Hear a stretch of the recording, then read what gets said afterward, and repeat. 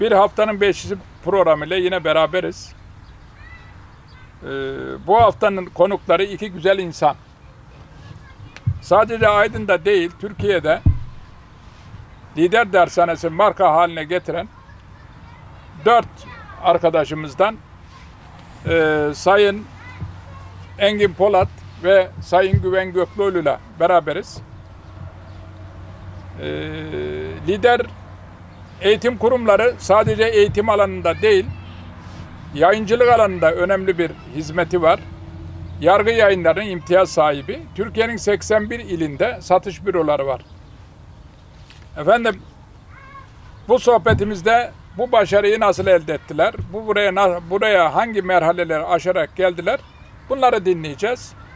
Ve sohbetimizin konusu sadece lider eğitim kurumlarıyla ilgili değil. Yerine göre siyaset konusu da olabilir. Yerine göre güncel konulardan da bahsedebilir. Yerine göre aktüel konulardan da e, bahsedebiliriz. E, Aydın Post ailesinden bu sohbette bize e, sorularıyla Sayın Editörümüz Erman Çetin ve Sayın Yayın Koordinatörümüz Selim e, Özyılmaz e, e, sorularıyla katkıda bulunacaklar. Ben e, sorun e, programın süresi bir saat. Bir saat süresi içerisinde keyifli bir sohbet yapacağımızı ben inanıyorum. Ve e, ilk soruyu ben e, müsaadenizle ben sormak istiyorum arkadaşlarımıza. Engin Bey, bu e, siz daha önce İzmir'de ikamet ediyordunuz. Bu dört arkadaşla siz nasıl bir araya geldiniz? Dershane fikri neden İzmir'de değil de Aydın'da hayata geçti? Bize bunları anlatır mısınız? Buradan başlayalım diyorum ben. Buyurun. Aydın Post TV, internet gazetecilik, dergicilik ve daha öncesindeki e, yazılı basında büyük başarıları olan artık Aydın'ı sadece lider gibi kurumlar değil, hizmet sektöründe, haber sektöründe, lansman noktasında Aydın'ın da çok önemli bir temsilcisi olan, gururla, onurla söylüyoruz, mutlulukla söyleyeceğimiz Aydın Post'a e, ve siz değerli editörlerine, yazarlarına, kurumun ortaklarım ve şahsım adına teşekkür ediyor. Tüm Aydın halkına da saygılarımı, hürmetlerimi iletiyorum. E, Ben bu sorunun cevabını samimi bir şekilde Sayın Hocam Tabii. Güven Bey'in cevap vermesini isterim. Çünkü neden? Kurumumuzun İzmir'den buraya kuruluşunun temel felsefesini, ilk felsefesini, ilk beynini ee, diğer bir ortağımız Sayın Adem Erdem'le beraber Güven hocamız oluşturup sonra Aydın'a bize yayarak geldiği için ben ee, Güven hocam cevaplarsa çok daha mutlu olurum çünkü bunun mimarı Güven Bey.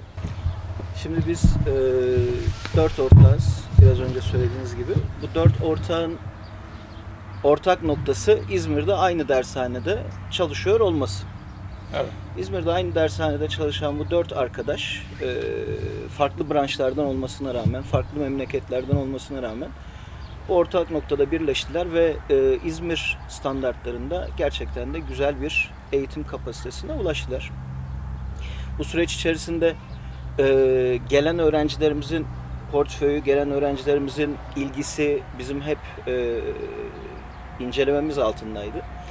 Biz bu dershane oluşumu fikrini ilk belirlediğimizde e, araştırmalarımızı yaptık ve Aydın'da bizim faaliyet konumuz içerisinde eğitim kurumu olmadığını gördük. Artı e, Aydın öğrencisinin eğitime verdiği önemi, Aydın'daki ailelerin eğitimi ne kadar çok desteklediğini ve eğitimi önemsediğini fark ettik.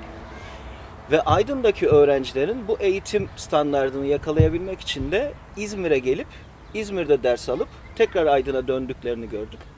Bu noktada bizim çıkış noktamız bu oldu. Biraz da eee arkadaşlarım sağ olsunlar Aydın'daki bu açık noktasında dile getirdiğimiz kavramlarda bize destek oldular ve onlar da bu kararı desteklediler. Bu anlamda bizim için uygun bir şehirdi Aydın ve biz ilk yatırımımızı Aydın'a yapma kararını bu şekilde aldık. Teşekkür ederim. Şimdi Engin Bey, bu e, taşrada merkezi olup da Ankara'da şubesi olan, İstanbul'da şubesi olan herhalde tek dershane e, lider eğitim kurumlarıdır. Evet. Ben bir tarihte Ankara'ya gittim.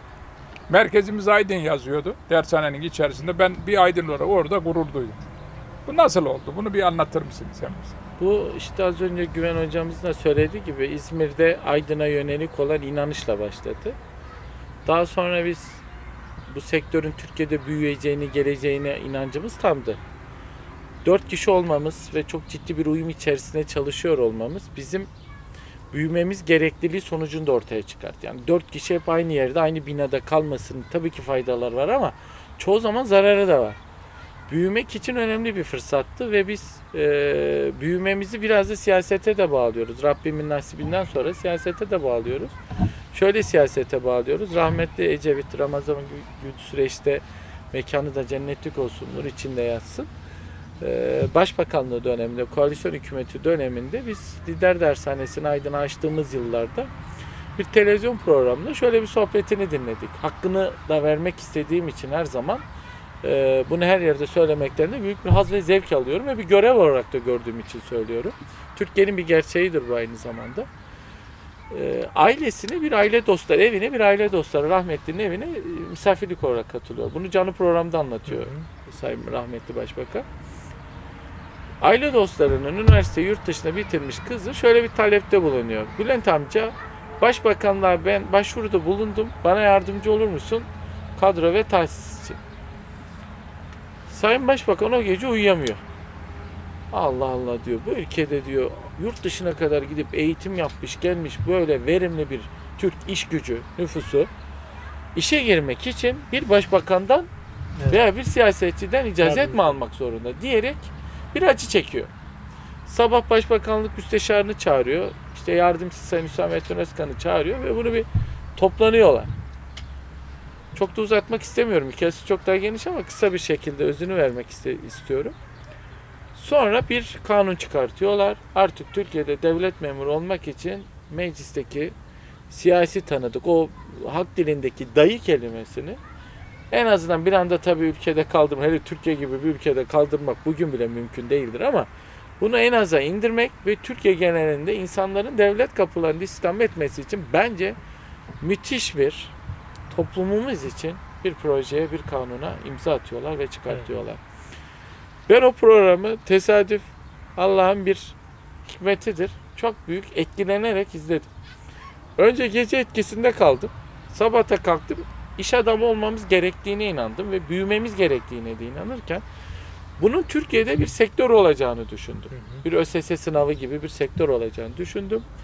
Ve bunun altyapısını Aydın'dan kurabilir miyiz? Sermayemiz yok.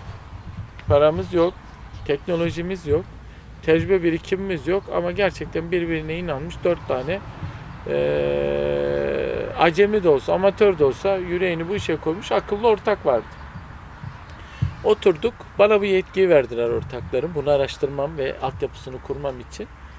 Ve ben Ankara'ya gidip bunun altyapısını çalışmalarını başlattığımda bir baktım ki bunu bizden daha hızlı düşünenler çıkmış. Ankara her konuda olduğu gibi. Evet. Ee, bunu hemen fırsata çevirmiş. Çünkü Ankara'da başbakan daha düşünmeden fikrinin ne olduğunu oradaki insanlar bir bilgi fırtınası yaratarak e, duyurabiliyorlar. Biz de oradaki insanlardan birisinin bu sektöre girdiğini gördük. Biraz da bilgi alışverişinde bulunduk. Ve o alışverişi Aydın'a getirdik. Aydın'da ilk KPSS, ilk açık öğretim kursunu Aydın'da kurmuştuk ama Türkiye'deki ikinci KPSS kursunu e, Aydın'a açtık. Ve baktık biz bu işi yapabiliyoruz. Sonra üniversite hocalarının bu işin içerisinde olmasına e, gerektiğini gördük. Biz kadromuzu büyüttük, sektör de büyümeye başladı. Biz sektörden eşanlı derecede büyümeye başladık. Biz büyürken kimse bunun da halen daha farkında değildi. Sadece Aydın için değil, Türkiye çapında da değildi. Düşünün final grubu, Uğur grubu hani isim veriyorum ama sınav grubu gibi sektörün de, dev e, aktörleri bile uyudular. Hı hı. Biz bir baktık büyüyoruz, bir baktık para kazanıyoruz. Ki en önemli yere geleceğim. İkinci kısmına geleceğim sorunuz ve e, bitirmiş olacağım. Ee, şunu gördük. Biz bu kazandığımız parayı ne yapacağız?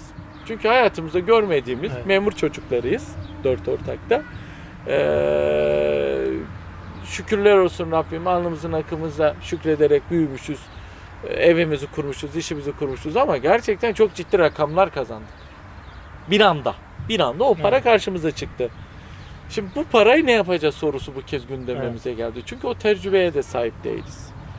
Dört ortağında aynı anda ilk cevabı şu oldu. Ev almayalım. Ayağımızın alttaki arabalar da yeter ama ev almayalım. Harcamayalım, bankaya da yatırmayalım. Allah'ın bize vermiş olduğu sermayeyi faiz getirisiyle yaşamamıza koymayalım. İnancımız da buydu. Din inancımız da buydu. Ben faiz şu buna ona girmiyorum. Kimse yanlış anlamasın ama şuna inanan birisiyim. İş hayatından kazandığım parayı Rabbim bana iş hayatına yatırayım diye veriyor. Benim böyle bir inancım var. Evet. Bunu düşündük. Dört ortak aynı anda ilk cümlesi yatırım dedik. İşte orası çok önemliydi bizim için. O yatırım Nazilli oldu, o yatırım İzmir oldu, o yatırım Ankara oldu, o yatırım İstanbul oldu, o yatırım sonra yayın evleri olarak büyüdü, marka olarak büyüdü. Gerçekten e, bizim de beklemediğimiz bir noktaya getirdi bizi. Ama altında ciddi bir emek var. Sadece biz dört kişinin emeği değil, ilk günden itibaren bugüne abartısız söylüyorum. Dört ortak kadar Evet. emek vermiş en az bir 20-25 aktör daha vardır bu işin içinde.